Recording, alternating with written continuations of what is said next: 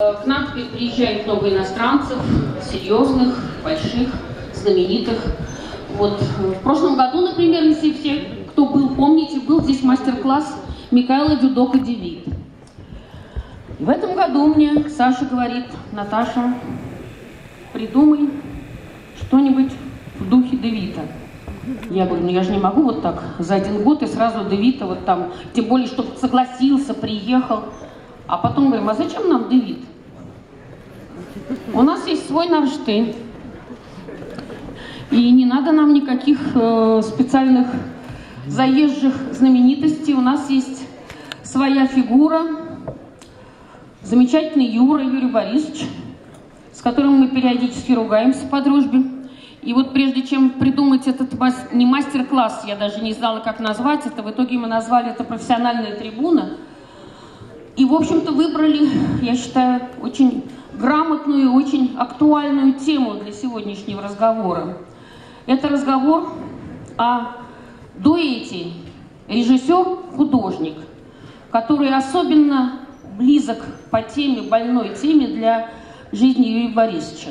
Чтобы его не раздражать ни дальнейшим представлением, ни прочими вещами, во-первых, вот у Дюдока в прошлом году было требование не снимать его. Юрий Борисович разрешает его снимать, только не ходить. Ребят, если вы пришли, сядьте, а то нам просто придется перекрыть э, двери, потому что это все-таки, ну, такой достаточно серьезный э, вечер, и мы хотим, чтобы это не превращалось в такой балаган. У меня непривычная ситуация вот выступать в таком большом зале.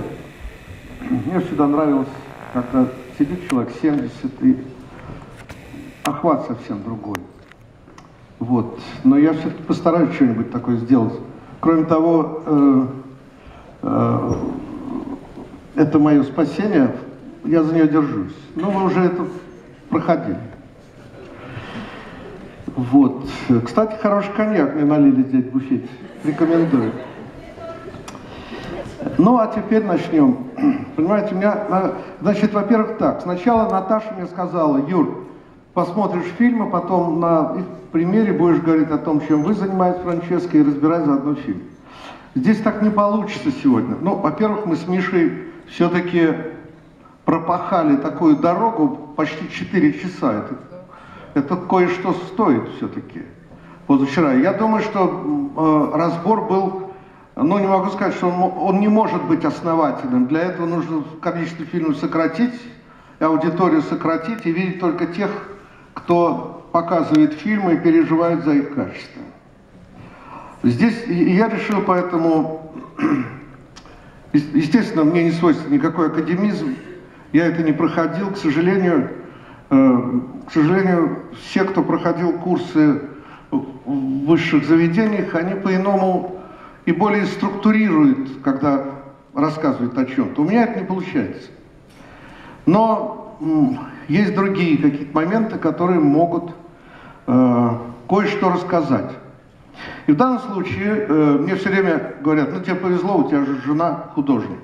Да, конечно, в каком-то смысле повезло. Но если бы вы попали, кто-нибудь так вот, будучи художником, постановщиком, попали бы на фильм с моей режиссурой, и вы бы поняли, через какой ад приходится проходить. Действительно так. По-другому не получается. Но прежде чем происходит этот ад, до, до этого происходит твоя жизнь. Это очень важно. Когда э, огромное количество фильмов, которые э, здесь довелось мне посмотреть, и в Москве я смотрел из той партии, которую мне Наташа предложила, я все время думал, почему автор делает такой или другой иной фильм. Как он может защитить свой фильм, как защищает, допустим, диплом или какую-то научную работу. Я ответов не находил. Я так и не понимал из многих сочинений, которые были показаны, и мне казалось, и мне, вернее, кажется, и я все более и более убеждаюсь в этом, человек работать в режиссуре может быть только имея огромный опыт жизни или какое-то очень сильное переживание. Иначе, иначе получается, что все мы впадаем в некую в худшую часть формализма, какая только может быть. Потому что формализм это не то, что у нас называют нефигуративное искусство. Формализм это когда начинаем любоваться тем, что мы сейчас сделали, и нам кажется, вот теперь мы поймали Бога за все места. А это не так. Мне довелось, э, я, извините, что я буду кое-что зачитывать, это мне не свойственно, но здесь не обойдешься без этого, потому что уже что-то сформулировано, и времени надо будет тратить на какие-то обходные пути. А, здесь у меня записано мое выступление, которое было в 2014 году Праге. Там была такая торжественная одна история. И меня попросил мой друг, который, собственно, занимался э, э, такой э, Иржик Кубичек. Его Наташа прекрасно, естественно, знает. Я имею в виду Наташу Лукиных. А может быть и кто-то здесь знает. Он попросил меня, Юрий, ты должен написать, ты должен сказать тронную речь. Я говорю, ну я вообще-то импровизационно скажу. Он говорит, нет, надо ее записать. И я ее записал. И вдруг неожиданно наткнулся на э, такие вещи, о которых, может быть, я бы, которые я, может быть, и не стал бы формулировать. Но они сформулировались. А, и я, э, да, еще меня там попросили, какую-то мелодию хотел бы услышать на этом торжественном мероприятии. Ну, я сначала подумал Гаудамус, а потом думал, какой я идиот. Да там все Гаудамус будут заказывать. И я так подумал, подумал, а потом сказал, знаешь, Ирка, если найдется в коллекции э, запись одной еврейской песни моего детства, то это было бы хорошо. Когда-то я э, много лет назад э, ночью не спалось, я часа в три ночи включил телевизор, а там запись концерта э, Исака Шварца. И там я опять услышал эту мелодию. А, я, я ее напою. Она звучит, э, там речь идет о том, что э, значит, э, молодая хозяйка замесила тесто, и вот она должна испечь варенички.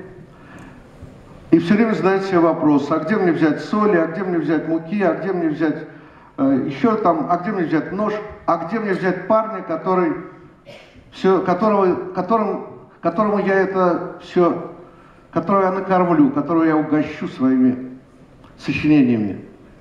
Вот, и там мелодия замечательная. Как раз я включил телевизор на том месте, когда в симфонии Исаака Шварца прозвучала эта мелодия. А звучит она так. Тари-ра-ра, та-ра-ра-ра-ри-ра, ра-ри-ра-ра,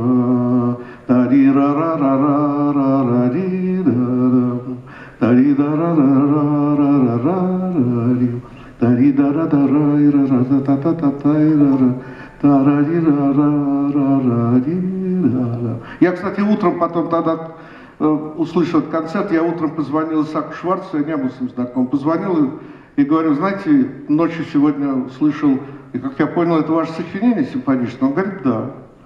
А там прозвучала, говорю, мелодия моего детства. И я ему напел. А он мне говорит, Юра, вы напели даже лучше, чем у меня там сыграно. Это большой, это был большой комплимент. Так вот, я попросил там сыграть эту мелодию. Видите ли, когда делается кино, если ты не находишься в этом обстреле со всех сторон, многоэкспозиционном обстреле, впечатлений, которые у тебя появились в жизни и которые ты вспоминаешь, когда ты начинаешь работать конкретно над какой-то вещью, считайте, что вы в пустоте. Количество впечатлений должно не просто быть огромным, оно должно зашкаливать, ты должен задыхаться от этого. Только тогда мы можешь, ты можешь попасть на дорогу, которая станет единственной. И вот у меня написано, И здесь невольный ответ, почему сегодня на этой торжественной церемонии прозвучала мелодия моего детства.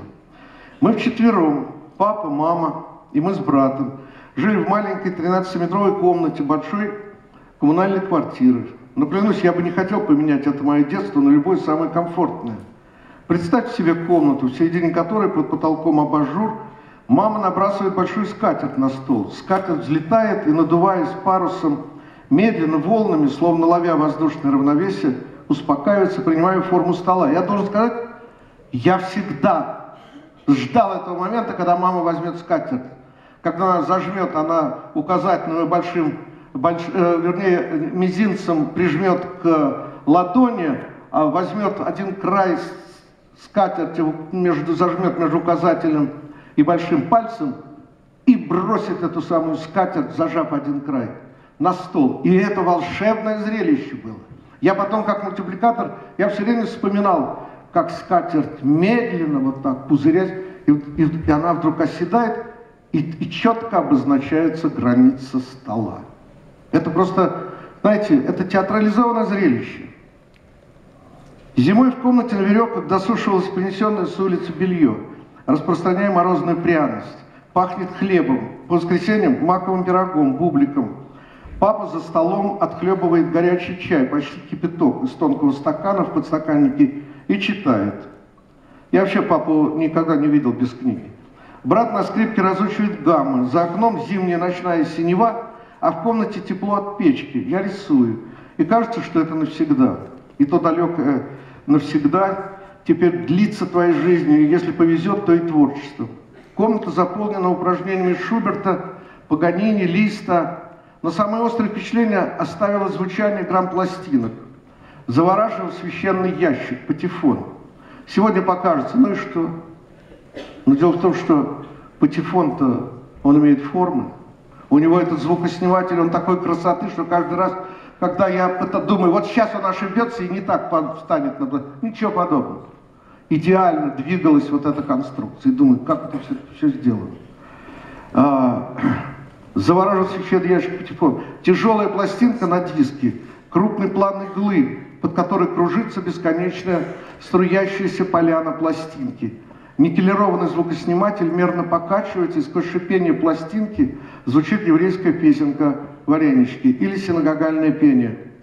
Звук одушевляет и возвращает пространство той жизни. Та наша комната, та далекая точка в глубине времени представляется мне музыкальным перекрестком, где у каждого своя мелодия. Мы были вместе. Каждый жил своей жизнью, но мы были сопричастны друг к другу. Быть может, это и есть главный смысл бытия. Я очень люблю это слово «сопричастие». Не в его религиозном смысле, нет. Когда, когда один человек посмотрел на другого, между ними вдруг пролегла такая дорога, что они в этот момент оказались нужными друг другу. Это очень, это очень важно. Сопричастие – это построение кадра. Когда ты не просто сидишь и вырисовываешь нечто, а когда ты компонуешь кусок живой жизни. Это может быть просто черное поле. Но, между прочим, черное поле построить, пойдите-ка попробуйте. Если кто из вас видел портреты Возрождения, как они писали черный цвет? Э, вот это действительно знает что. Какие тончайшие валеры разливались по этой черноте. И надо их увидеть, угадать, а не просто возить кистью по поверхности. Суть не в удаче, а в ежедневном интересе каждой точки жизни, одна из которых может вспыхнуть открывшимся глубоким смыслом простых понятий. А, а, прекрасно не только в колоннах Парфенона, но в каменной дороге, по которой идешь, сбивая в кровь ноги. Но ты чувствуешь тем существом дорогу, и это дорога к дому. Прекрасно не только прикосновение ладони любимый к твоему лицу, но и подогрические пальцы твоей мамы, и хромая собака, и выцветшая на солнце, омытая дождями доска, и запыленная листва. Мир заполнен многообразным опытом, и ответа общего нет. И все же, если ты держишь младенца на руках, ты испытываешь восторг, и смысл отрицательного опыта полезен хотя бы тем, что заранее заставляет тебя проникаться пронзительной печалью о судьбе твоего ребенка или друга, или просто близкого тебе. Понимаете, Жизнь трагична, никуда не денешься. Но, может быть, поэтому мы занимаемся искусством и выискиваем надмирный смысл бытия. И если у нас происходит это воспарение над материей, а это единственный путь, другого нет. Если мы не, не будем продолжать любоваться, ах, мы как хорошо нарисовали, мы не войдем в это самое пространство, которое мы можем назвать пространством кинематографа. И если ты испытываешь горечь, грусть от предстоящей чьей-то судьбы, ты уже невольно участвуешь в мысли, что есть нечто, ради чего стоит писать стихи, стихи делать фильмы, сочинять музыку, жить, просто трудиться.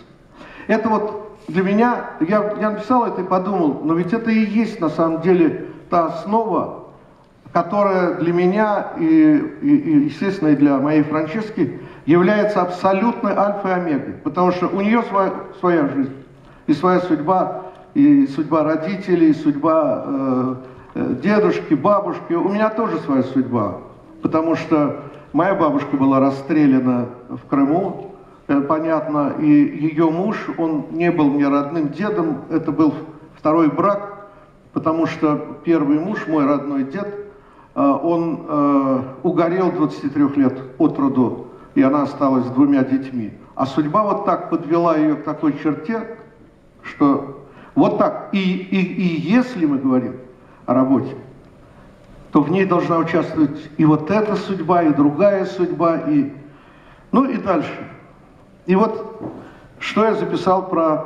Э, поскольку кино многомерная история, э, из чего растет фантазия?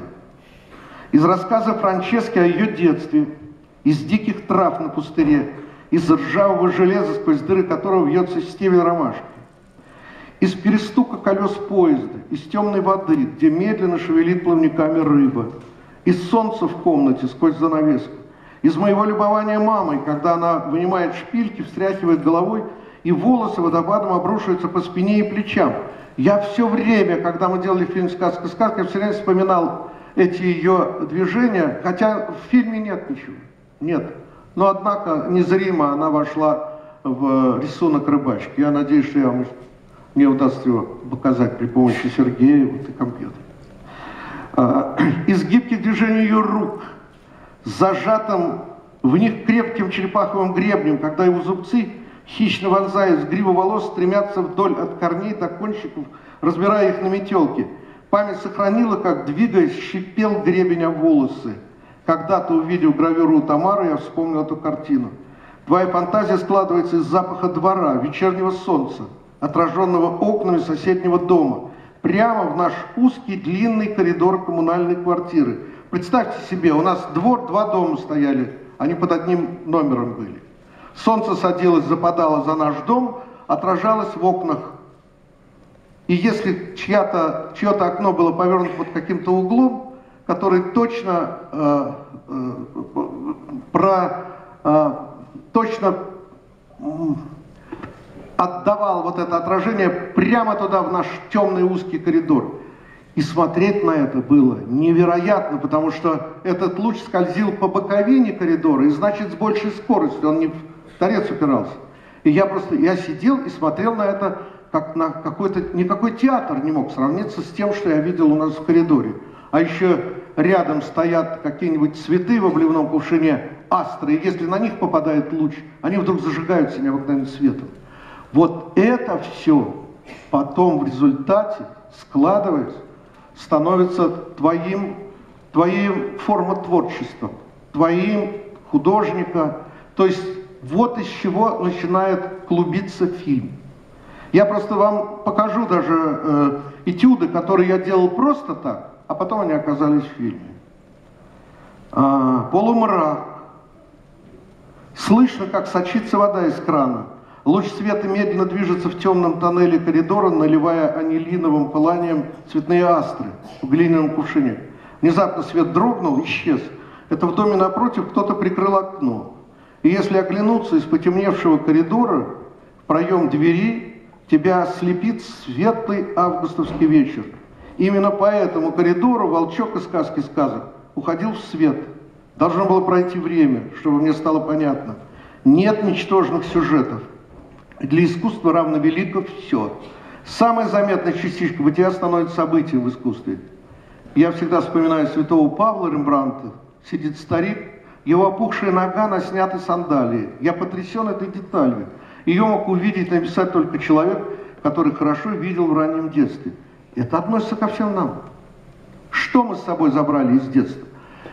Я бы, например, если бы э, на студии, студии бы нормально функционировали, и там не было бы приоритета администрации, которая, в общем-то, мало чего смыслит в искусстве, да и в жизни тоже мало. Так вот, я бы, например, устраивал такие худсоветы, как экзамены на курсы. А что ты можешь рассказать в связи с этим фильмом? Почему ты его делаешь?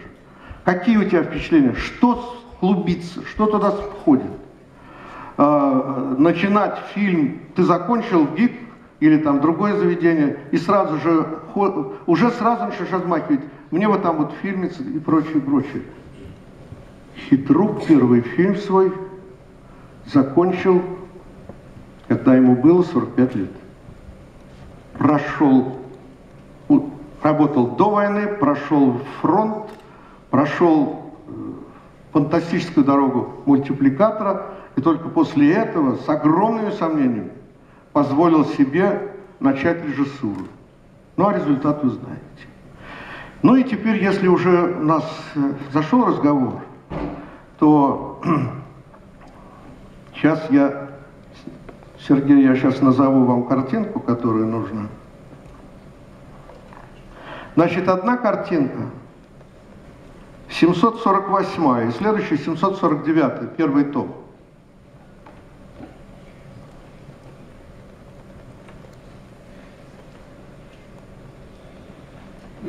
Вот, это мой детский этюд. Бабушка Варя, наш, наш коммунал. Я потом, э, мне было, я не знаю сколько, 14 лет. Он не бог весь какой. Он не бог весь какой по живописной там акробатике.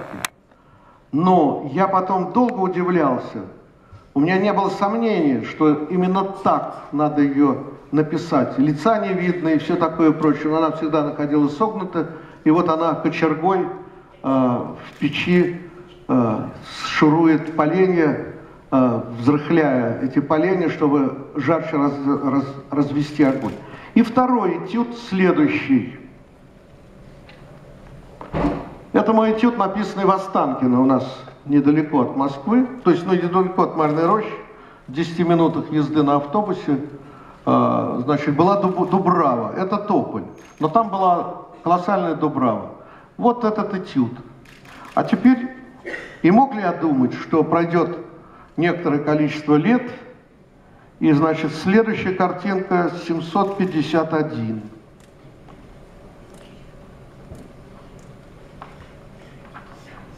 Вот видите этот этюд? Вот откуда это все пришло. И вот дерево. Конечно, Франческа сделала другое дерево, это, потому что там дальше шла другая пластика. Это очень важно. Это уже она находила пластические ходы. Это все ее рукой сделано.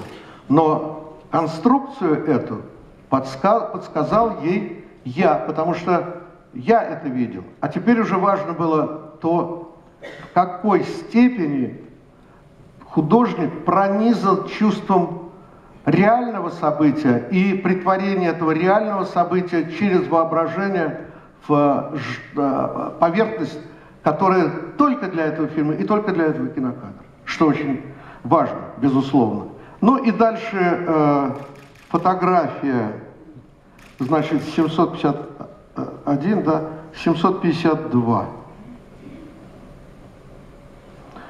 Это моя фотография. Ну, собственно говоря, я не потому, что мне хотелось заниматься фотографией, оказался в руках фотоаппарат. И я сфотографировал. Так вот этот дом, он и является прототипом дома сказки сказок. И вот этот черный проем, это вот тот самый проем, где стоял волчок. И вот следующий, а, и вот кинокадр. Значит, 753, по-моему. Следующий. Вот он. Вот видите, как, какой путь только к одному кадру. Но это еще не все, потому что на самом-то деле этот кадр складывается из более сложных э, моментов э, бытия. Сейчас я надеюсь, я найду эту вот самую м, фотографию, с которой... Кстати, заодно, вот эскиз по фильму. Сейчас Черт, света мало. А. в этой книжке больше тысячи картинок. 1004 номер, это эскиз Франчески, но он сделан уже был потом. До этого были просто наброски.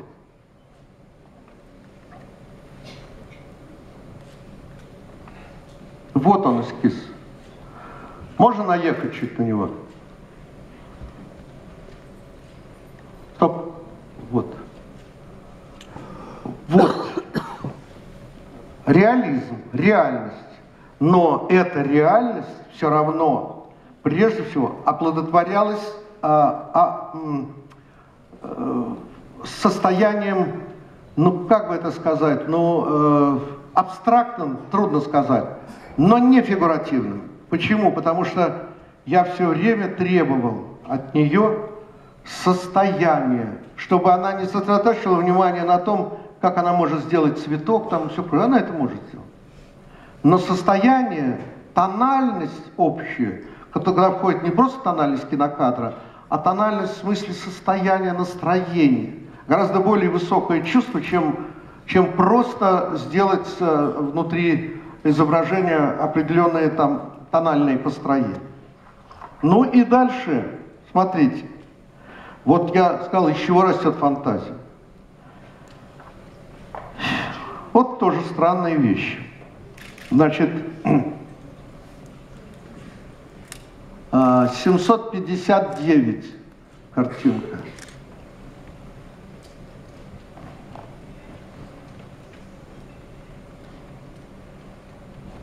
Это значит 68 год. Борьке нашему полгода. Ну, во-первых, посмотрите на его физиономию, а вот, э, а вот э, 700, 700, 736, да, 736 кадр. 736 картинка, да. Это Франческа, значит, утро. Я ее снял, снял тоже случайно. Она жутко возмутилась. Ты что, как меня будут видеть? А кто ее будет видеть? Ну, откуда я знал, что потом это станет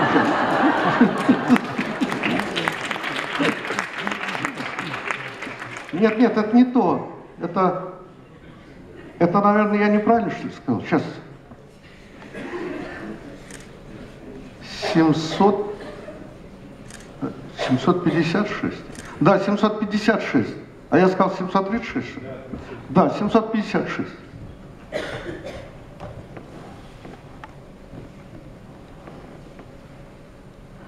Вот, вот как мог я предположить, что та фотография попадет сюда. Но и этого мало. Только этого мало, как сказано в стихах Арсения Тарковского, который читал незабвенный Саша Кайдановский. И этого мало. Потому что сюда же 757 э, э, э, рисуночек. Это вот когда Борька родился, вот я э, нарисовал Франческо. Кормление. Да? Но этого мало. Я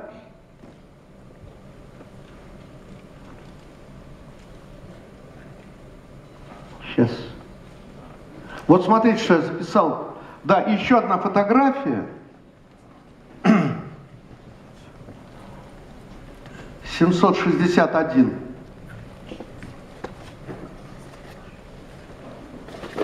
Вот Франческа, значит, тоже. И вы видите, сколько у нее негодования по поводу того, что я ее снимал.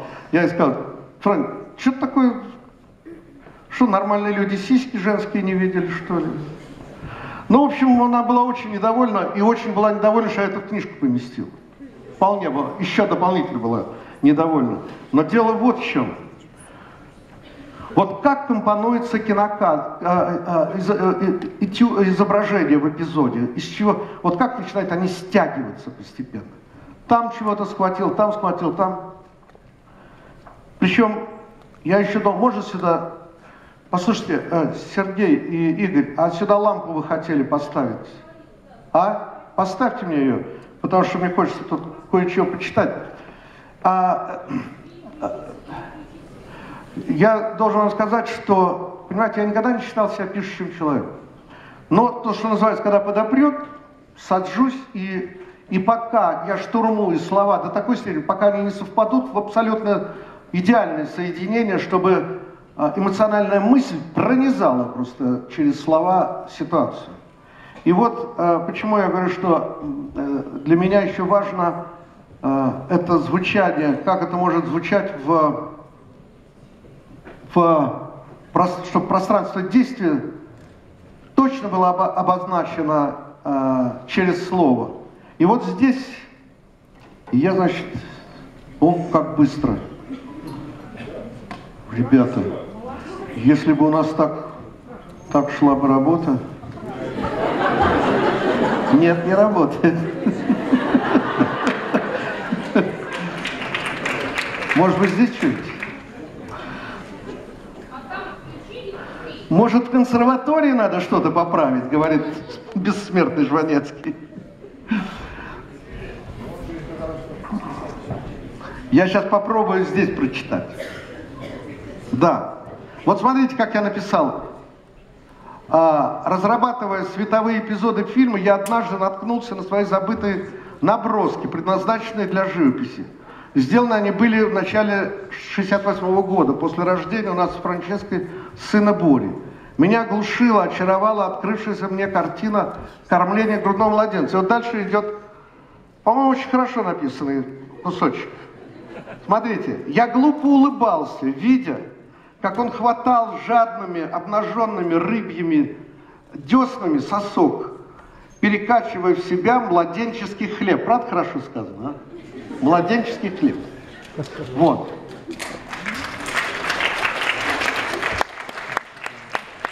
И э, зал не, не мешает, нет?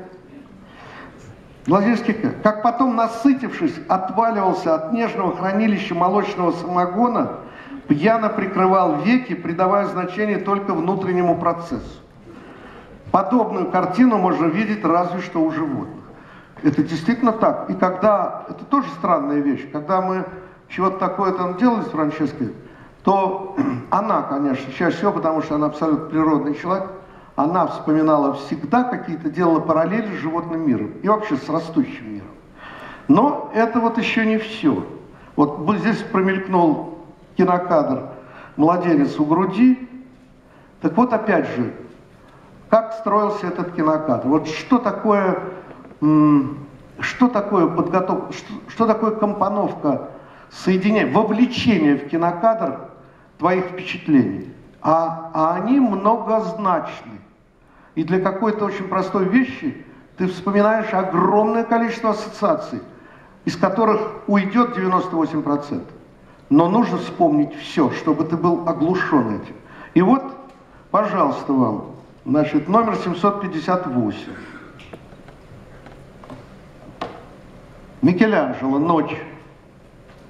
Мы с Праней пошли специально в музей, значит, там пересняли, и, и я говорю, Франческо, вот посмотри, какая конструкция. А почему так? Да потому что Покажите 755 700 700 черт, 755 да. 755 картину. Это моя тетка. Это ей 19 лет. Да, 19 лет она ушла на... Да, это ей здесь 18. 19 лет она ушла на фронт. И прошла всю войну, служила в авиации. Так вот это от нее впечатление к этому кинокадру, где э, младенец у груди. А это мои детские впечатления. Я вспоминаю, она вернулась с фронта, и там она вышла замуж, но дядя Коля, ее муж еще довоевывал, а она, значит, приехала к маме в Москву. К несчастью, родившийся ребенок умер от заражения крови. Но у нее было много молока, и она его сцеживала. Я просыпался часа в 4 утра, а это июнь месяц, уже светло.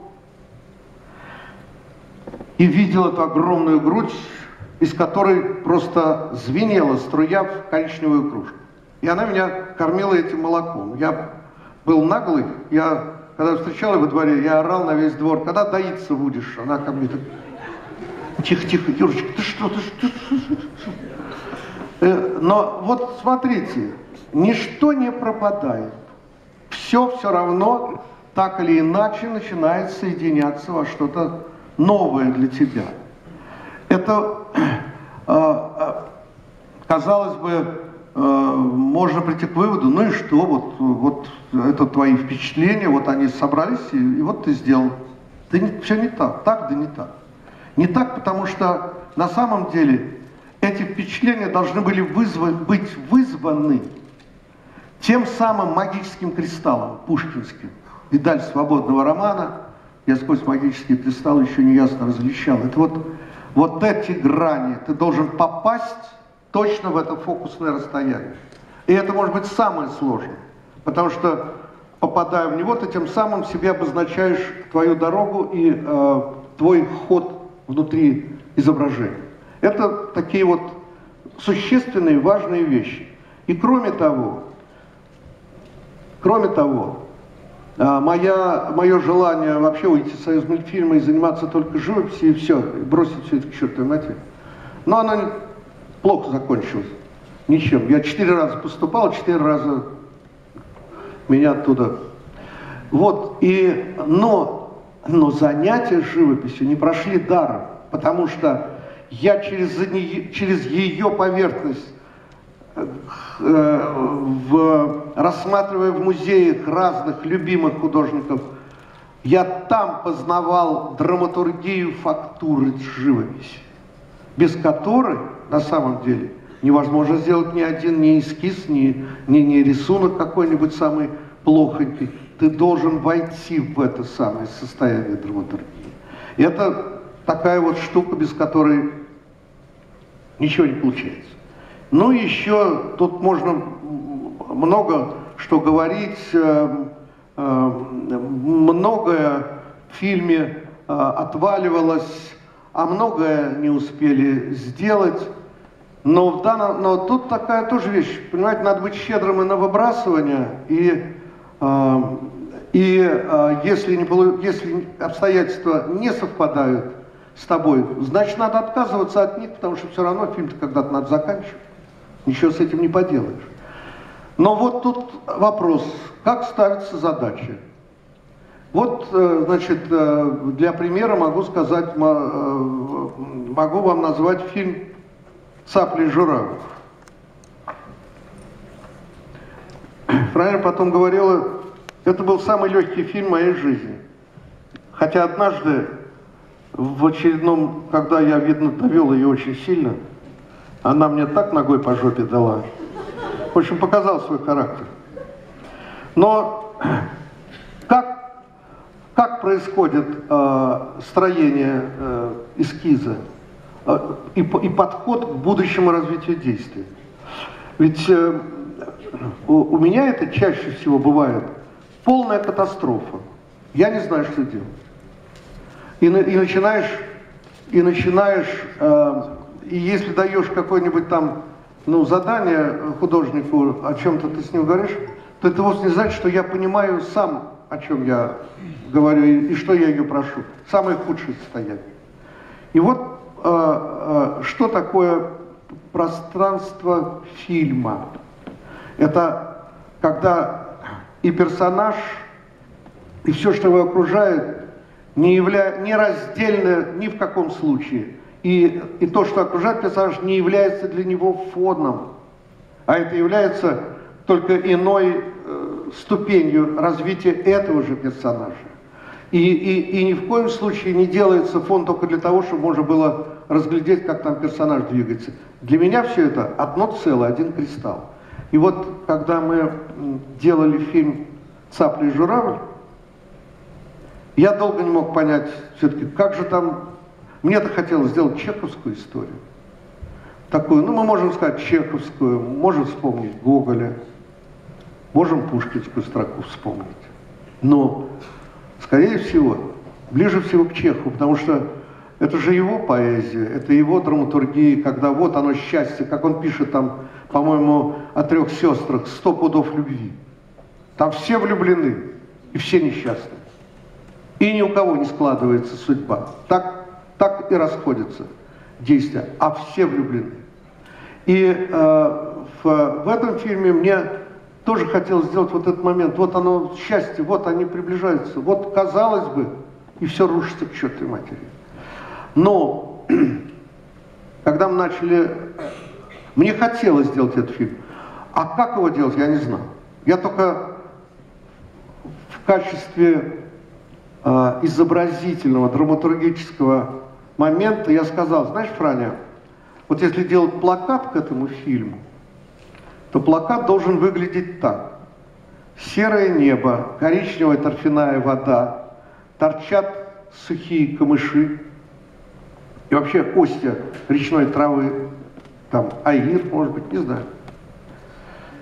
Порошит снег на этом фоне, падает в коричневую воду, и вдруг опускается белое подвенечное платье на эти остя, оно на них повисает, попадает в воду и, намокая, начинает себя вбирать этот коричневый цвет протяной воды. Вот такой плакат. То есть я, я чувствовал, что там, как там должно быть. Но вот, понимаете, вот я вам сказал это, но это вовсе не значит, что фильм можно было бы и, и, и что-нибудь похожее там придумать. Потому что да это состояние было очень тяжелым для фильма. Это совсем другой фильм. И, и в то же время болото. Болото, болото. Франя сделала раскадровку. Ну, у меня здесь ее нет, этой раскадровки. Она так сохранилась, но сохранилась скорее как такой, знаете, паллиативный вариант не самого лучшего толка. Потому что я что-то такое там попросил, знаешь, может быть, там какой-то дом у журавля. Правильно нарисовал, я говорю, слушай, какой-то сортир посреди болота. Что такое? Но все равно, говорю, давай рисуй, и я тоже буду рисовать, потому что все равно надо же сдавать худсовету чего-то. Но худсовет на это не обратил внимания. Я обратил внимание. И я долго мучился, как, какое же пространство. А, должен сказать, у меня в году в 61-62 одна из любимых книг моих был трехтомник, такой был автор Андре Баннар «Греческая цивилизация». Вообще, количество книг тогда зашкаливало, когда начинают рассказывать, да эти советикус, там мы них книг вообще не читали, и все там, и вообще там ничего не было. Слоны ходили, медведи. А книг, между прочим, сдавалось огромное количество. И вот, в частности, одна из них, я уж не говорю про отдельно про греческую литературу, одна из них, это была замечательная книга. Замечательная. Я просто зачитывался этой книгой, причем вначале купил только третий том, а потом уже докупил. И я ее э, как-то сидел на кухне, рассматривал. Вот тут можно сказать, работа идет, конечно, индивидуальная, но одновременно и, э, так сказать, смежно-параллельная и э, по каким-то координатам непонятным. Я, когда мне не в, не в мочи, когда я, я должен обязательно сидеть на кухне, смотреть, как картошка там жарится, и, и Франческа хлопочет, и тут дети крутятся, и все. И мне, и, и, и мне все время хочется чего-нибудь раздражающего, чтобы было на ком вообще сместить свое неумение. И вот я сижу, смотрю книгу, а что, что ты здесь на кухне делаешь? Я говорю, хорошо, не могу я там сидеть работать. И вот я рассматриваю книгу, и вдруг мне попадается фотография, остатки разрушенного города, и вот он. И журавли. Представляете? Ну просто само пришло. А вот эти, эти кадры. Значит, 319 и 318. Покажите, пожалуйста.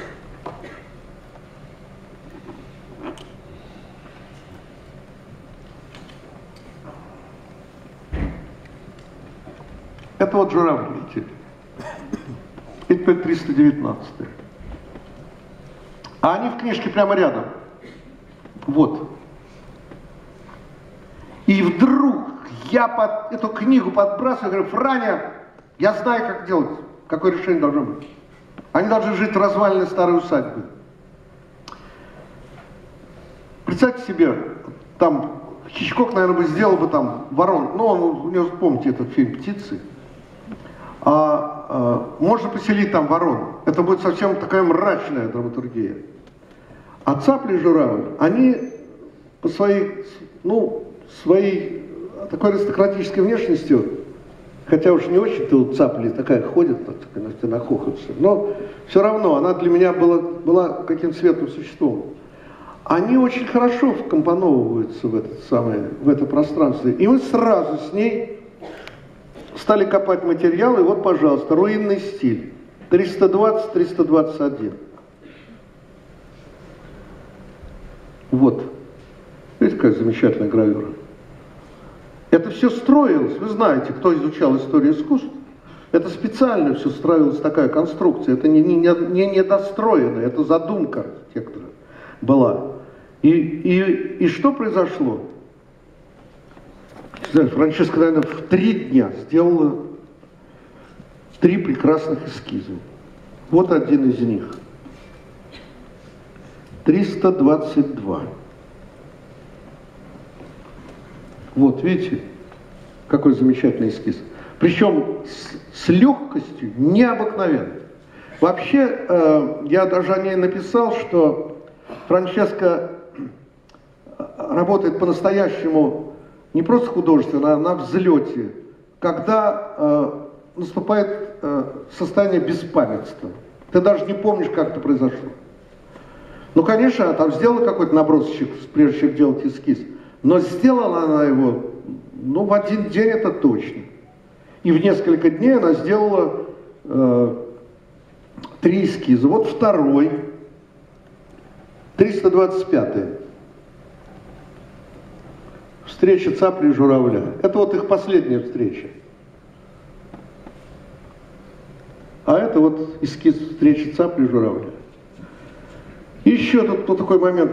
Я на курсах всегда очень много говорил о живописи и как о прикладной науке, и как об отдельно образной, потому что, ну, понимаете, э, можно делать целый цикл по Кандинскому.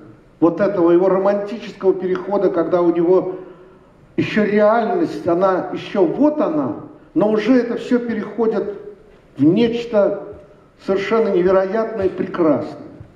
То есть почти теряются черты реальности, в то же время они проглядывают сквозь эту абстракцию. Вообще, я должен сказать, что, спасибо, что абстрактное изображение сделать не менее сложно, а может быть и более сложно, подлинное изображение, нежели какой-нибудь там узколобую реальность, в худшем смысле узколобую. А, да по той простой причине, что найти тональные, пластические соотношения – это гигантская наука в искусстве. Была передача о Гоше Рерберге, и там замечательно, значит, э, его снимают у него в комнате, и он рассказывает о своих пращурах, он же из художественной среды, и сам рисующий. Причем оператор, который оперирует, так сказать, реальностью, он рисует абстракции. И вот на стене висит какая-то живопись. Понимаете, не удалось, не получилось. Я так и не смог скомпоновать три цвета. Вот эту фразу запомните. Скомпоновать три цвета. Это грандиозная наука скомпоновать. И, и поэтому, конечно, художник обязан, не просто он обязан смотреть абстрактные вещи, но только дальше ваш выбор, товарищи артисты. Что вы берете? Что вы выбираете, вот это есть вы. Если вы выбираете какую-нибудь кучерявость и кудрявость, то это все будет и в кино. И сразу пойдет этот мусор. Но когда ты смотришь, допустим, если вы смотрите, каков путь Пикассо и как он распоряжался формами, или такой Хуан Грис был замечательный художник, к сожалению, рано умерший, и э, умерший. И, и вот, когда вы в этих формах вдруг начинаете различать, что они, оказывается, внутри вступают в драматургические отношения, вот в этот момент начинается искусство. И э, в этот момент вы можете спокойно, художник в данном случае, может спокойно, если он знает как какие, какие абстрактные ходы соответствуют его, э, помогают ему вырастить ту, то самое пространство, которое потом поможет своим, своим обстоятельствам, разви, в, э, даст развитие уже в самом действии и в вот, персонаже, ну и так далее, и так далее. И вот, вот эта меня фраза поразила действительно. В этом же смысле мы можем говорить о художнике Пауле Клее. Я вообще, у меня даже была идея давно-давно, еще был жив композитор Михаил Александрович Мирович, с которым мы работали, я ему как-то предложил, я говорю, Михаил Александрович, давайте с вами сделаем такие 24 прелюдии и фуги. Ну, вспоминая клавир Баха. Я говорю, знаете, по Паулю Клие, такие маленькие фильмы. Да, он сказал, давайте, давайте. Но, к сожалению, вскоре его не стало, и, и, и сама идея ушла. Но она не осталась у меня для меня пустой. Вот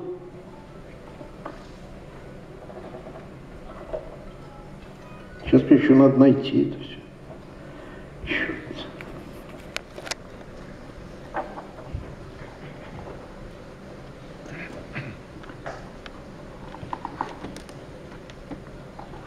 Ну, пока я буду искать, я попрошу, э, я попрошу показать композицию «Три креста» э, Рембранта, которая тоже является школой. 311 и дальше там. Сначала покажи 311, а я пока постараюсь все-таки найти этот. Вот, я нашел. Вот давайте. Я их включил в свою книжку, я их включил в главу отца цапли журавли. Казалось, вообще какая связь. Но это первое состояние. Вот чем отличается великий художник от ремесленника? Это первое состояние. Далее, что делает этот гигант? Причем не только в, этой, в этом афорте, и в других тоже. Смотрите, какая у него тщательная проработка, видите, всех фигур. Но они еще не дают ту драматургию, поток трагический, который здесь разыгрывается, они не дают. Это еще фигуры. А вот у него второй вариант, второй 312 -е.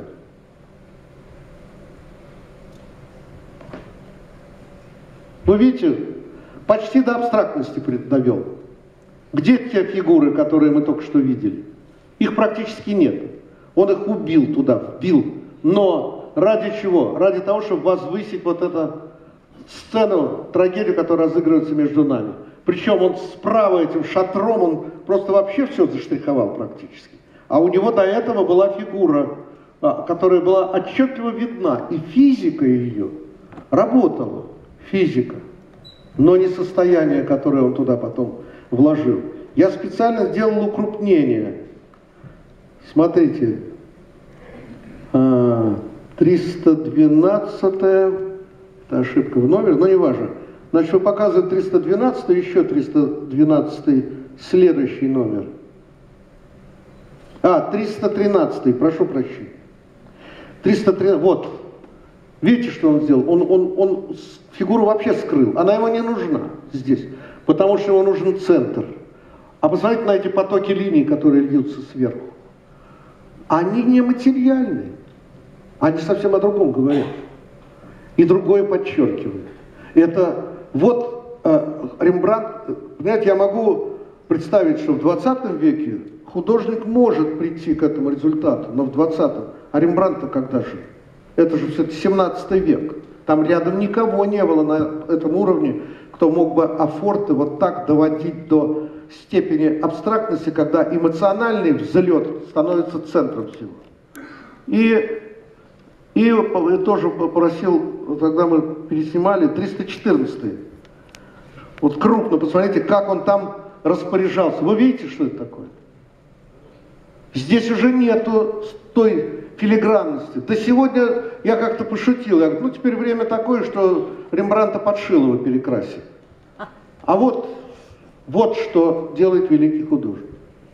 У него была работа, э, э, у него была работа суд, э, «Христос перед судом народа». Афорт. Один, одно состояние стоит Христос в центре, над площадкой. Линия, очерчивая э, горизонтальные площадки, а перед площадкой стоит масса народу, от края до края. Что он потом делает? Он отпечатал и счистил все это, оставил пятно. Вот отказаться – это гораздо больший дар, чем нарисовать, потому что нарисовать он умеет. А вот отказаться ради драматургического взлета – это может только Рембрандт. И все он убрал, и сразу очистилось пространство, и сразу мы видим Христос, линия, с двух сторон народ стоит, убрал все, что мешает самому главному, самому важному. Вот отказаться. Ну и теперь, значит, вот по поводу э, э, того, кто мои учителя и что мои учителя. У меня глава называется «Звуком мы трогаем изображение и меняем его». Кстати, я должен сказать, поскольку я там сижу, торгую книжками, что извините за прозу, я наслушался этого звука. Простите меня, господа режиссеры, но это такое говно. Я по-другому не могу назвать. Извините за резкость.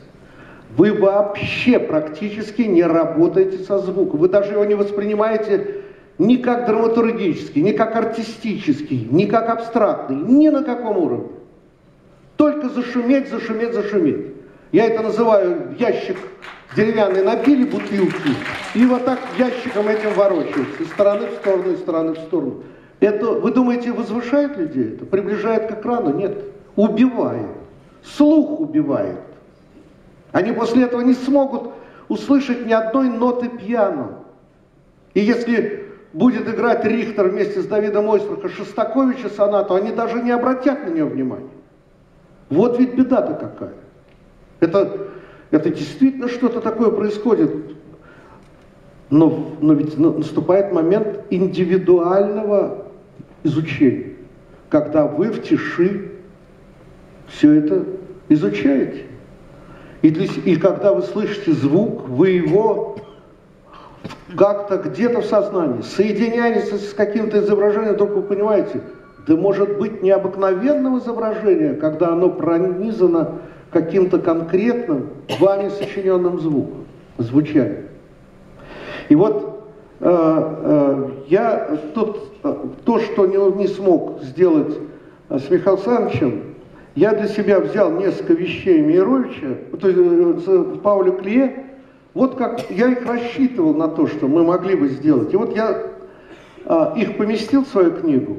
Кстати, вот эта книга, которая здесь я и продаю.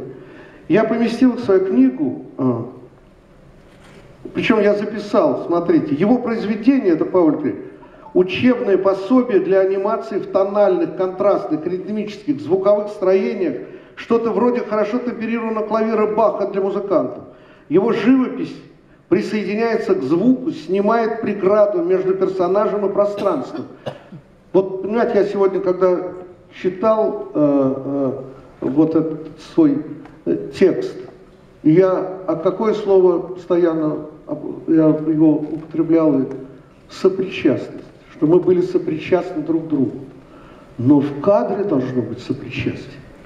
Не просто. Вы, э, э, если бы у меня здесь было, было бы со мной материал бы, э, который я оставил специально, вот я сказал, Франчика, вот ты сделала Акаки Акакичи, нам должен быть Акаки Акакичи раздеться до гола. Но ведь надо сделать так, чтобы не пахло немытым телом. Вот как, знаете, иконы, вы наверняка иконы, там крещение, и стоят там вот такие вот, они еще ничего не понимают даже, что с ними происходит такие в подштаниках, а иногда и голые стоят такие, их там что-то кто-то поливает. Там в этом э, действии уже сразу понятно, что там происходит, какое таинство. И я, когда Франя говорил, знаешь, Франя, вот надо что-то из этого искать, из этой простоты, чтобы свечение э, вот всего корпуса Акакия Акакчи, его дряблые ножки, там, его слабые ляжки, его вот это, но только без запаха тела. И вот Франя сделала рисунок, а по, по шинели мы там работаем, но в такой технике, что есть э, подложка, которая может быть грунтовная фольга. Почему фольга? Потому что фольга под цветом не гнется. Ну, вы знаете, что я компьютером не пользуюсь, только живым светом. И, и всем живым. Она не гнется. На нее накладывается целлулоид, по которому Франческо царапает, как по афорт. Когда это соединяется, можно один слой, два слоя три слоя. И все время меняется драматургия изображений. Именно драматургия. И, и она наполняется, она наполняется а, таким напряжением, которое ты на самом деле не просчитываешь. И не, и не нужно, чтобы ты просчитывал. Оно, оно, это изображение, оно возникает будто бы само, оно проращивается на твоих глазах. И, и становится абсолютно неожиданным. И вот это, э, вот это соединение этих фактур создает незримую материю. Так вот, Франческо, значит, делает персонаж со спины. Значит, там все вырезала, там акварелькой, целлоид, поцарапала, все тело. Я говорю, Фрэнк, ты знаешь, это очень здорово нарисовано, но это никуда не пойдет.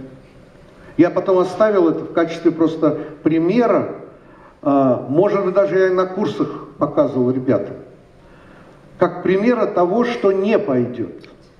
Если она начинает раз, э, э, тщательно рисовать там обшлаг э, кафтана Акаки Акакча, и, это, и если это без нужды, без необходимости, мне это не нужно потому что на него обращать внимание будут. А мне нужно, чтобы обращали внимание, чтобы этот самый луч зрительский, эмоциональный, он был такой же сильный, как и э, тот, который мы вкладываем в само изображение, чтобы по нему пройти и миновать все хитрости. И поэтому она, она блестяще рисует. Она может нарисовать такой, что... Я искал, я говорю, Франь, напиши портрет Пугачева, и у тебя от Москвы до 45-го километра будет очередь за портрет потому что она владеет мастерством. Но высшее мастерство, когда убивается это мастерство, и поэтому я всегда говорю в левую руку. И я ее попросил, я говорю, вот, это все надо переделать, это не пойдет. Наверное, другой художник бы на меня бы такое спустил. Но Франя знает, почему я это говорю. И тут, если я говорю, Франя, знаешь что, вот здесь волчок бежит, сделай э, э, черную землю, мокрую от дождя, зашлепанную осенней листвой. Я помню, как она мне через 15 минут она вы, вынесла кусок фона, я говорю, гениально. А сделала из очень простых вещей. Она взяла черную бумагу, взяла целлулоид. Причем черная бумага, она была не черная, она была чуть-чуть сероватая. Так что штрих, в данном случае не афортный, а штрих туши пером. Он был чуть темнее этой самой земли. Вот здесь начинаются те самые градации. Вроде бы, да подумаешь, чепуха. Да не чепуха. Потому что там возникают незримые валеры. Вот самое главное и самая большая война, которая у меня всегда идет с изображением, это чтобы оно не было самодавлеющим. А если самодавлеющим, только в том, в тех моментах, где необходимо, чтобы это было.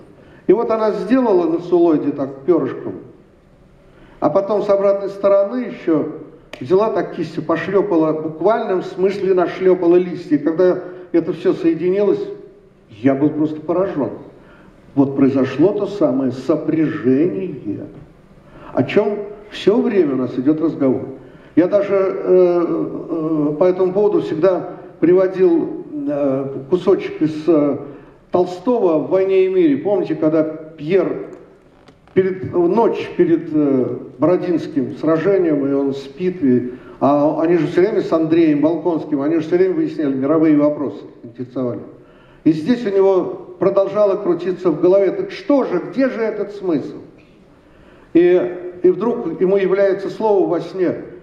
Сопрягать надо, сопрягать. И он просыпается. Но дальше, это же Толстой, дальше у него звучит, какой-то мужик кричит там, рассвет идет, какой-то мужик кричит, запрягать надо, запрягать. Понимаете? Это Лев Николаевич. Я в связи с этим потом вспоминал Юрия Коваля, его недопеска, когда он там описывает ночь, и вдруг откуда-то из деревни пишет, прилетела фраза «Гайки не забудь завернуть». И он там пишет, какие гайки, чего там, кто кому чего-то говорил. Вот это и есть та самая незримая поэзия. Так вот, э, по поводу Пауля Клея. Чем мне он нравится? А мне повезло, я вдруг однажды был в, город, в городе Люцерне, и там, там была огромная выставка, не выставка, а просто экспозиция. Ну, работ, наверное, 150, не меньше, Пауля Клея.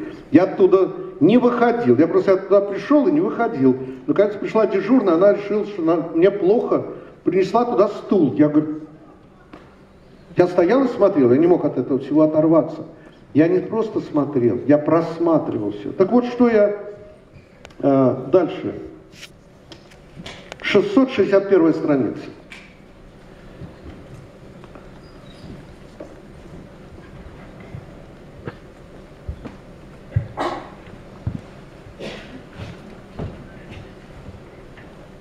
Нет, нет, нет. Ой, не, ой, я прошу прощения. 661 рисунок. А это из второго тома, извините. Это Басё рисунок. Это совсем о другом. Кстати, это мой подготовительный рисунок для Франчески. Так, вы нашли? Это в первом томе 661 э, репродукция. 661.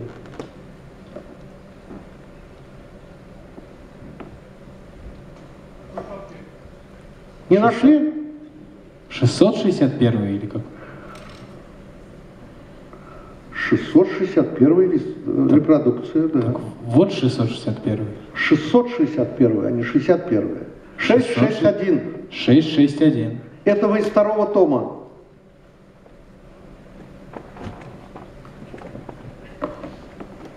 Вот, потерял.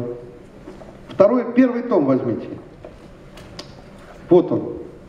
Вот вы показывали, все предыдущее, это все был первый том, а это второй. Поэтому, ну, конечно, конечно. Вот, это второй том. Вот он, этот рисунок. Вы только что показывали из первого тома все. Вот вам туда надо залезть. Жалко будет, если это не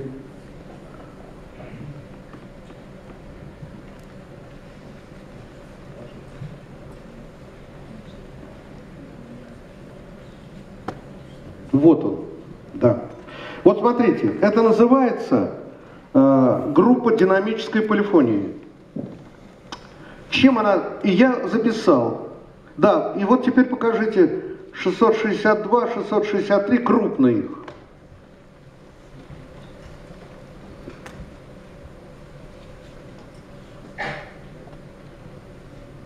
Вот, это вот, чем, э, чем вообще меня привлекло это? Понимаете, вот видите эти линии. Казалось бы, они вообще ничего не значат. На самом деле они значат много. А, и вот что я записал. Вот какое бы я давал задание Мироевичу, если бы мы с композитором работали. Вот что я записал. Группа, э, репродукцию группы динамической полифонии. Эффект многократной экспозиции оптического совмещения. Вращаясь, они пересекаются в воздухе бумаги, не повредив друг друга. Линии блуждают в пространстве, растушевываются, исчезают.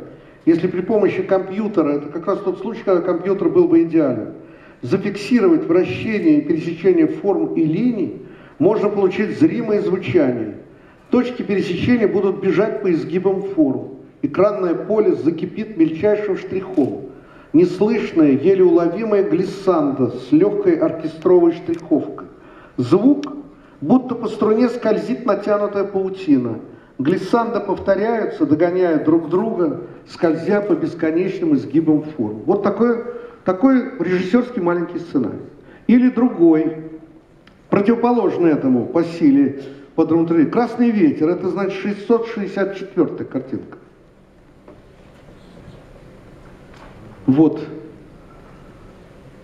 И э, подскажите теперь крупно следующие 665 и 66. Видите, какая фактура мощная? Гудит вся. И, и вот я написал. Яростно первобытное небо разрывают шипением пучки стрел. Гул по всему тревожному живописному полю. Дикое буйство и беспощадность пролетающих снарядов содрогают небо. Гремит и становится ветром, разорванный в куски воздух. Николай Гоголь, «Мертвые души». Звук бубна и первобытные крики шамана. Понимаете, это я записывал, ощущение от этого, что если бы я стал бы делать это, э, одушевляя совершенно определенным образом, то и соединяя с звучанием, которое я здесь написал, мы могли бы получить овеществленное изображение через музыку. Или, э, например, или, например, замечательная такая вещь есть. Машина птиц. 684 картинка.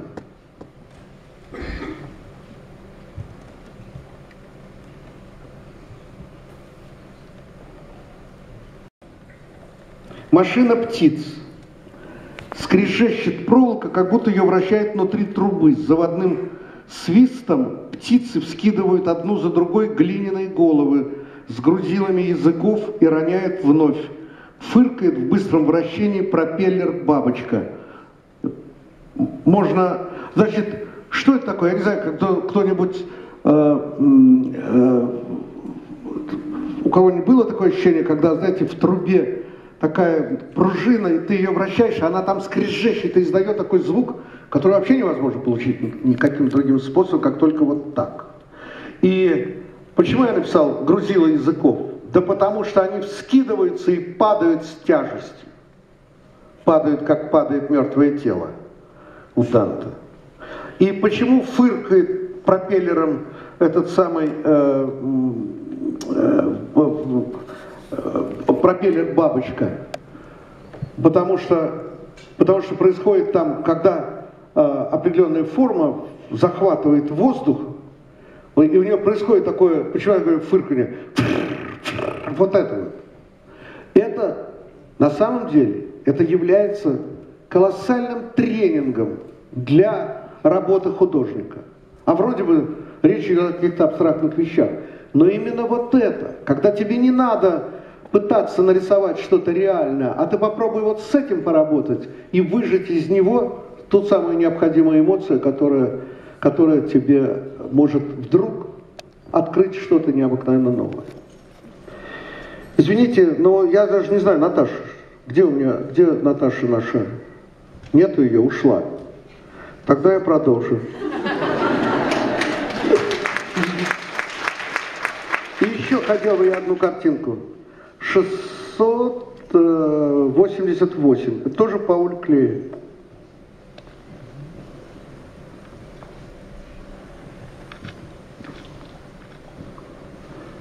Это называется восточная архитектура. Ну, это вообще фантастическая вещь. Он ее, судя по всему, он писал ее индивидуально по формам, заливая, наливая воду в форму и туда буквально капая акварель. И она сама растекалась. У нее дрессированная была акварель. Она принимала свои формы. Вот видите, так нельзя сразу написать. Это шла долгая и очень утомительная и подробная разработка.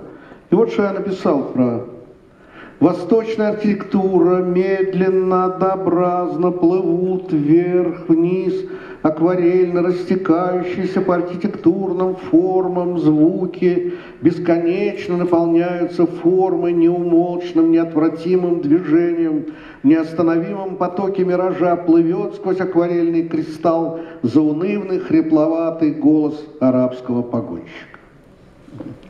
То есть, если бы мы бы, была бы такая вот счастливая нас минута с Мирочем, мы могли с ним это сделать, потому что этот композитор очень хорошо понимал пластику. Его любимый художник был Сутин, Хайр Сутин.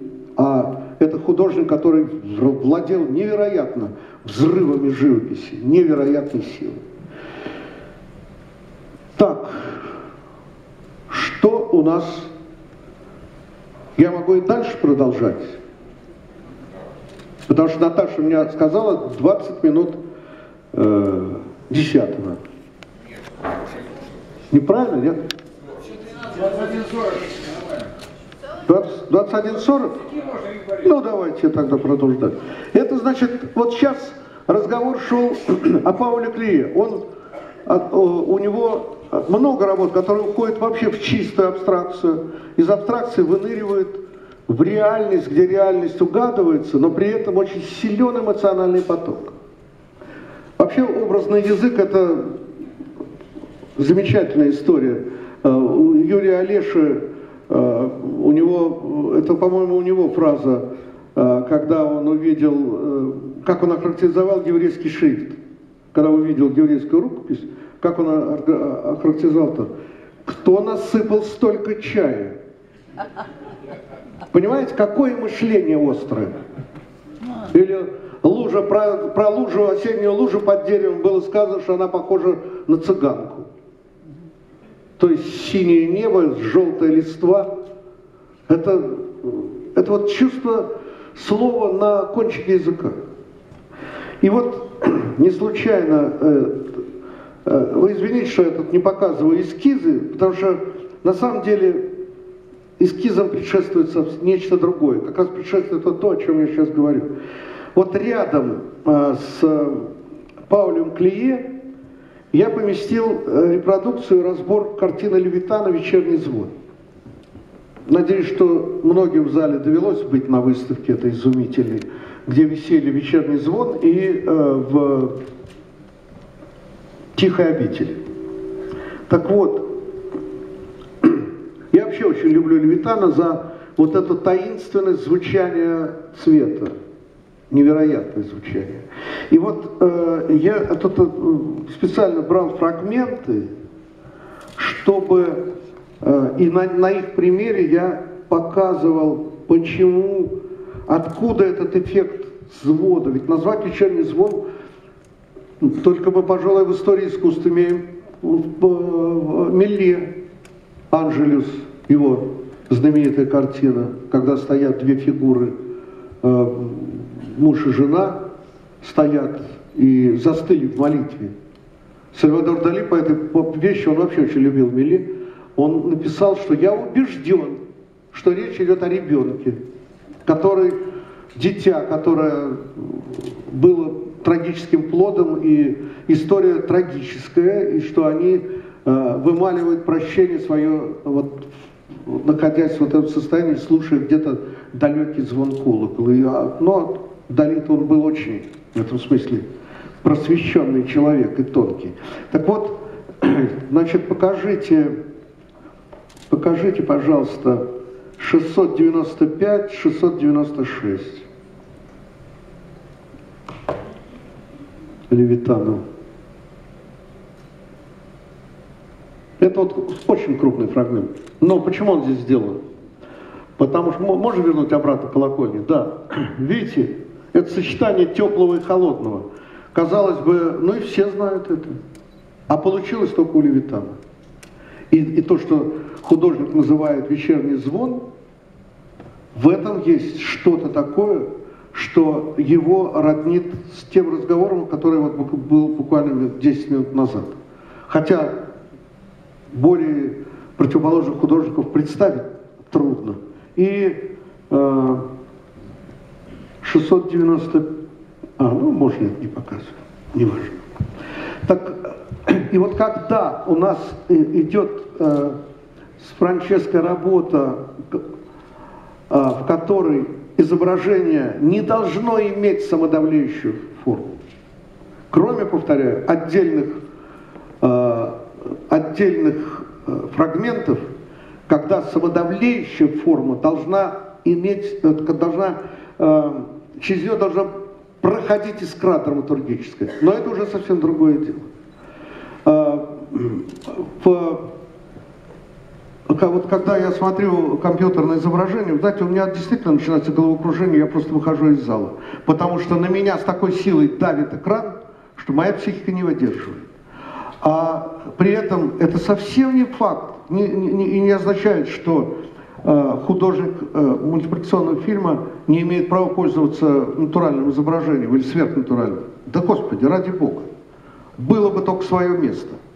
Э, я помню, мы, значит, с Игорем Скиданом, он был кинооператор э, в «Сказке сказок», я помню, мы, значит, снимать должны были эпизод, первый эпизод, который мы снимали в фильме, когда волчок в лесу с младенцем, а потом он качает младенца, и дальше идет медленная панорама по сырому лесу, шелестит дождик, и по ветвям скатываются капли.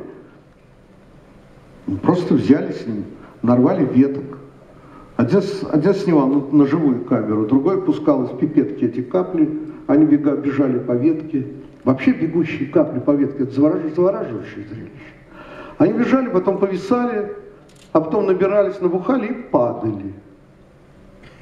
И тут э, и мы честно сделали эти фазы, фотофазы. Но никто никогда не говорил о том, что это натурально что это, мол, не входит в систему. А это все входило в систему штриховую. Но э, тут важно, если вы стали на этом на, на, настаивать и постоянно пихать зрителя, а вот мы умеем вот так, вот видел, как каплю повесила. Вот тогда мы были бы придурками. Вот я тебя... Да. На слове придурки мы заканчиваем наш разговор. Нет? Да, да. А, и почему? Там возникает уже другая система сопряженности и система контрастов внутри изображения. Когда капля становится центром в тот момент, когда она набухает и упала, и исчезла. Это тут важно, что она, что она пришла, сделала свое дело и исчезла. Если бы мы все время мы бы показывали этот рой капель, это у кого? У Марка Донского, я не помню, у кого там, у кого-то из режиссеров там э, ассистент повесил на плетень валенок. И он сказал, замечательная деталь. Тот решил, какая замечательная, дай-ка я и второй валенок повесил. По поводу чего ему режиссер сказал. А вот это уже, тут и есть та самая натуральность. Там был образ, а здесь натуральность. Вот такая разница в этой самой гениальной недосказанности. И, ну и еще, э, э, тут, э, видите, вот я вам не особо-то рассказываю о том, как там эскизы делались и что, хотя я об этом много могу говорить. А я говорю о том, что предшествует этому всему. Вот не случайно книгу я сюда включил. Был такой Владимир Вайсберг, художник, живописец, замечательный живописец, который, э, который, ну, он такого, можно сказать, такого буддистского направления живописи. Там как сад камней японский. Там можно сидеть в комнате, где развешаны э, э, работы Вайсберга, сидеть, смотреть на них, размышлять, думать, идти домой. Тебя там ничто не трогает, тебе ничто не бьет под дых. Ничего. Все умиротворено. Все. Но между тем, это большой художник и большая. И вот я вам хочу еще две работы. 700, 735 и 736. Сначала 735. Нет, давайте так. Сначала 733 а потом 734. Вот. При том, что как мы ни старались с кинооператором, когда делалась эта книга, переснять максимально то, его, его нельзя переснять. Он, он ускользает в своей живописи, понимаете? И следующая картинка. Ну, здесь еще не очень качественное, конечно, изображение. Вот. Оно не совсем то, которое в книге. То есть тут я вам, видите, вот эти все пиксели там, чертовы, я не знаю. Мы-то снимали, у нас было все нормально, я не знаю, почему здесь пиксели пошли. Но не важно. И, конечно, они не дают тот эффект, который ты видишь, когда ты, когда ты подходишь к живописи вот так, впереди. Ну, еще одна его работа, это 735-736.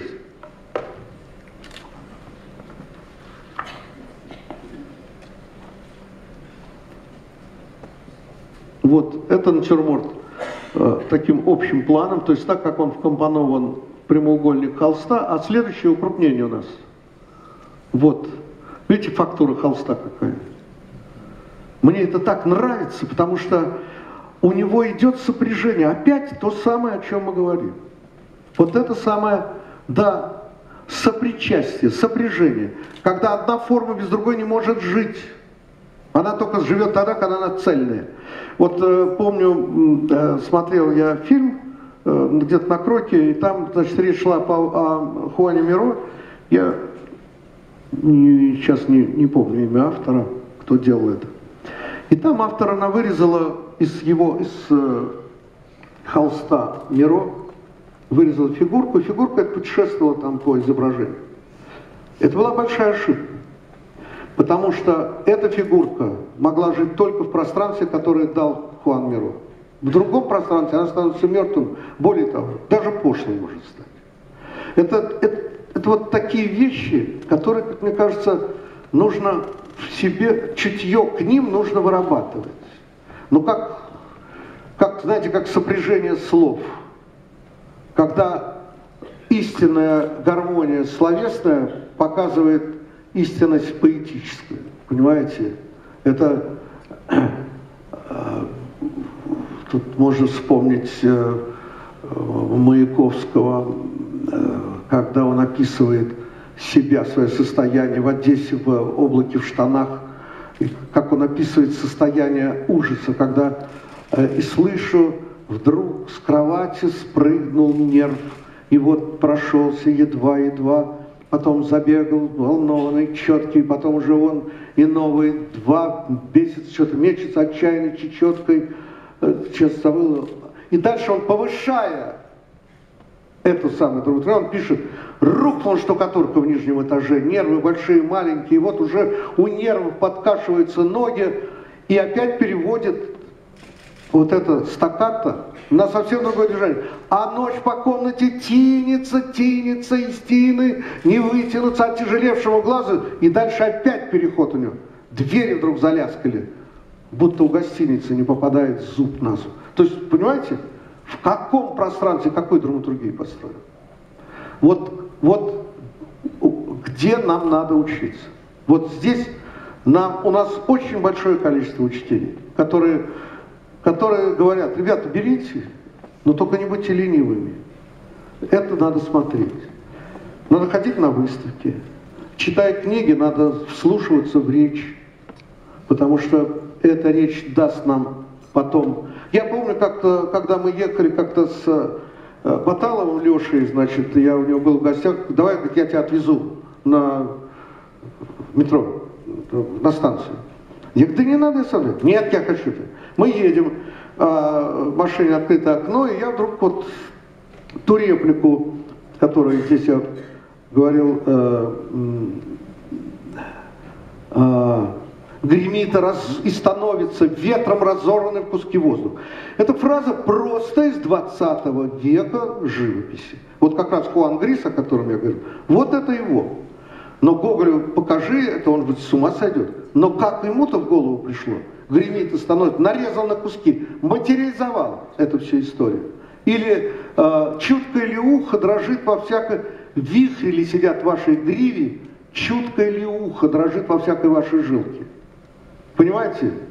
Это что, ну, хочется сказать, да куда там Сальвадору Дали?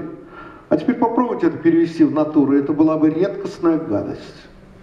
Вот в чем дело. То есть чувство гармонии, чувство вот этого, чувство меры. И мне Леша говорит, это откуда? Я говорю, Леша, чего? Это же вообще-то хрестоматия. Мы в школе проходили. Не помню. Я говорю, вот интересно. Я говорю, да это птица тройка. Да не может быть. Ну-ка еще почитай. Я ему там целый кусок про... Я говорю, посмотри, что он делает. Вот только он. Он может сказать Гоголь, и почти не коснувшись копытами земли, превратился в одну вытянутую линию, летящую по воздуху. Такой фазы у лошадей нету. А, а например, Жирико, он, там у него скачки, и лошади скачут, раскинув ноги, вот так. Но такой фазы нет, это неправда.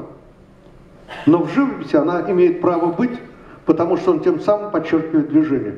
В этом смысле Врубель оказался более точным, потому что там, где у него Гарун скакал быстрее, Лани быстрее, чем сейчас забыл, скачет. С какими штрихами он это сделал? Он не обрисовывал это все, допустим, как Серов. Он такими стаккато все это сделал. Каждый штрих скачет.